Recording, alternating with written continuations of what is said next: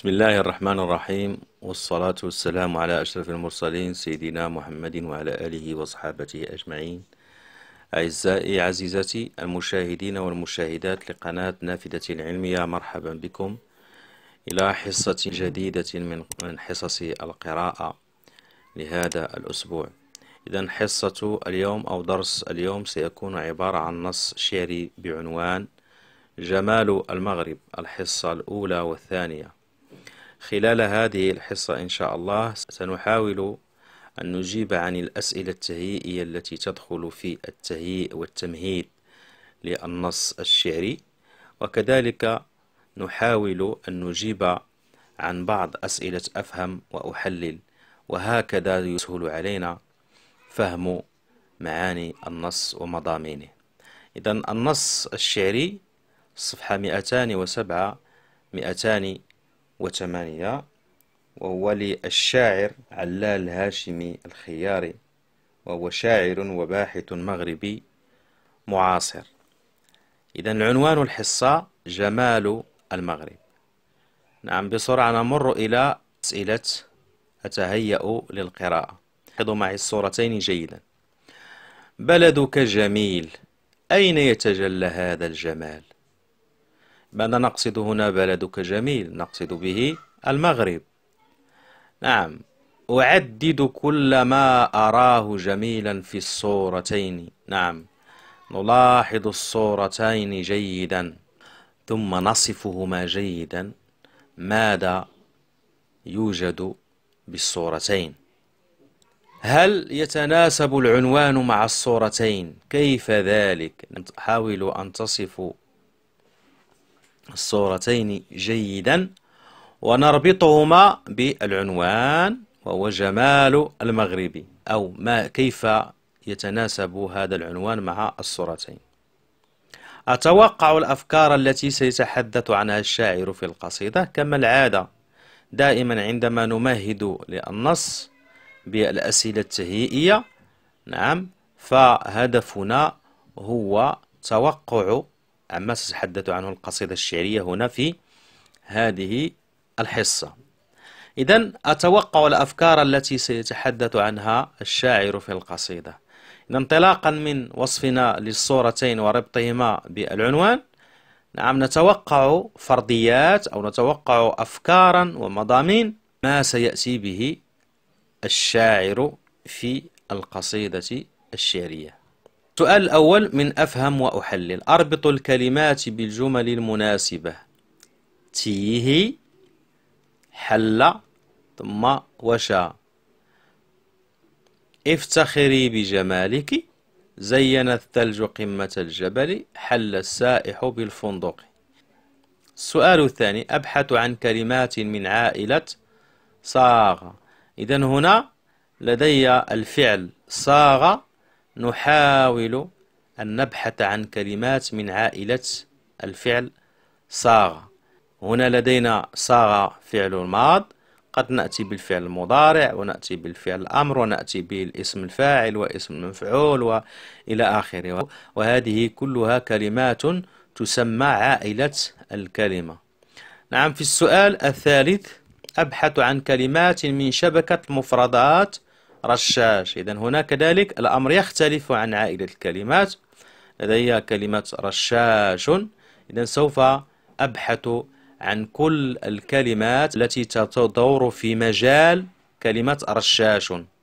بلدك جميل. أين يتجلى هذا الجمال؟ نعم يقصد الكاتب هنا المغرب من طبيعة الحال. يتجلى جمال المغرب في تنوع الطقس والتضاريس وتعدد الشواطئ إضافة إلى حفاوة الاستقبال والضيافة التي يشتهر بها المغاربة. أعزائي عزيزتي سبق لنا وأن عددنا أنواع سياحية متعددة السياحة الجبلية السياحة الغابوية السياحة الشاطئية. وكذلك قلنا بأنه لديه تنوع في الطقس إلى آخره. إذا هذه كلها مزايا نعم تدخل ضمن جمال وسحر المغرب. وكذلك حفاوة الاستقبال والضيافة التي يشتهر بها المغاربة.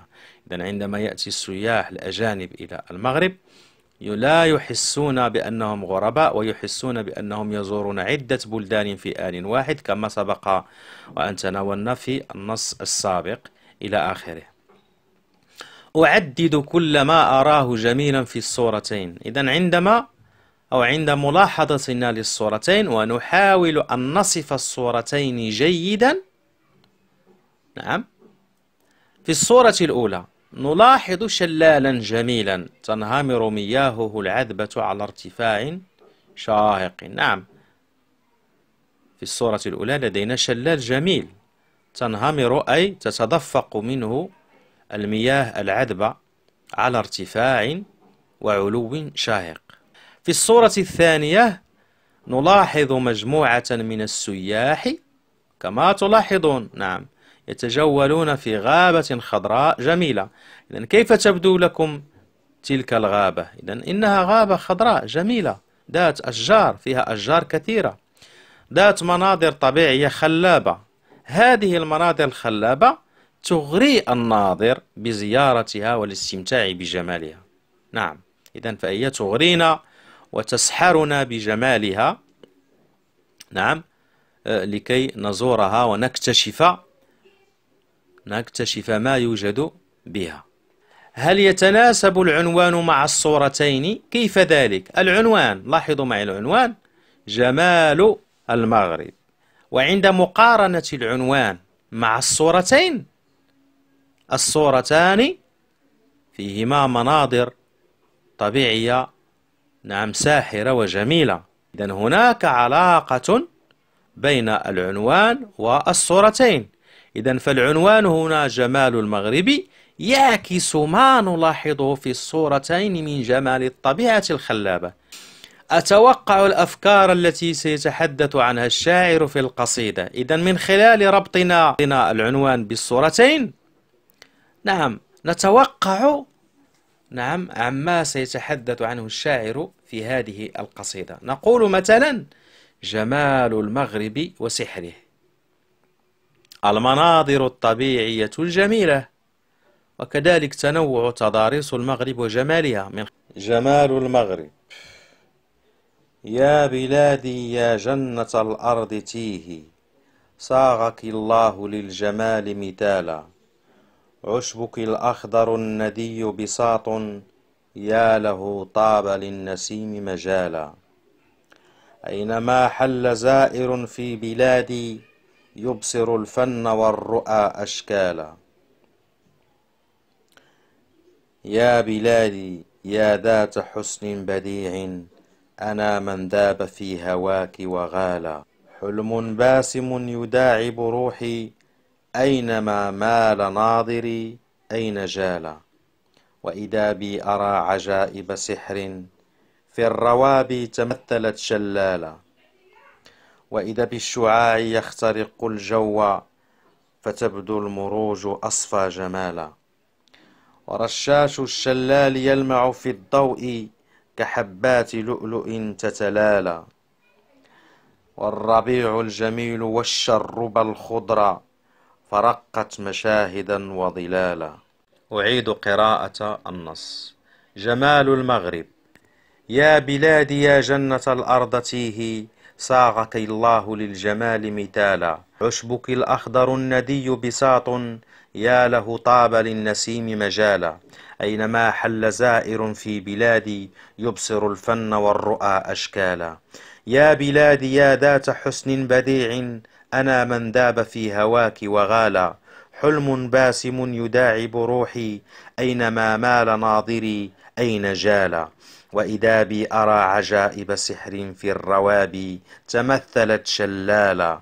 وإذا بالشعاع يخترق الجو فتبدو المروج أصفى جمالا. ورشاش الشلال يلمع في الضوء كحبات لؤلؤ تتلالى والربيع الجميل والشرب الخضرا فرقت مشاهدا وظلالا. إذا بعد قراءتنا للنص نعم.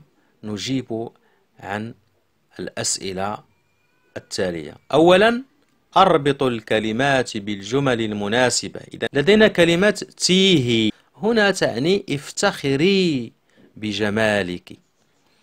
لدينا كلمة حل فمعناها أو الجملة المناسبة لها حل السائح بالفندق. نعم حل أي وصل السائح إلى الفندق.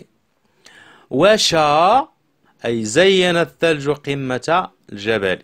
السؤال الثاني أبحث عن كلمات من عائلة صاغة وهو الفعل هنا صاغة سوف نبحث عن كلمات مشتقة من الفعل صاغة إلى نبدأ مثلا لدينا يصوغ الفعل المضارع يصوغ كذلك الفعل الأمر صغ ثم مصوغ ثم صوغا صياغة مصوغة صائغ صائغة. إذا هذه كلها كلمات من عائلة كلمة أو الفعل صاغ. السؤال الثالث أبحث عن كلمات من شبكة مفردات رشاش. كذلك هنا لدينا كلمة رشاش وهو اسم. إذا سوف نبحث عن شبكة المفردات. معناه شبكة مفردات أي جميع الكلمات التي تدخل ضمن مجال رشاش. إذا رشاش هنا. أتيت بأربع كلمات فقط وقد تأتون أنتم بكلمات أكثر من أربعة. إذا رشاش شلال. إذا هذا شلال نعم. مائي عذب صخري إلى آخره. إذا هذه كلها كلمات تدور في شبكة المفردات كلمة رشاش. إذا هذا كل ما يتعلق بهذه الحصة. أتمنى أن تكونوا قد استفدتم وأحثكم على قراءة القصيدة الشعرية قراءة شعرية معبرة. أحاول أن تجيبوا عن بقية الأسئلة. نعم أفهم وأحلل. إلى ذلكم الحين. أشكركم على انتباهكم. دمتم في حفظ الله ورعايته وأوشركم بروكا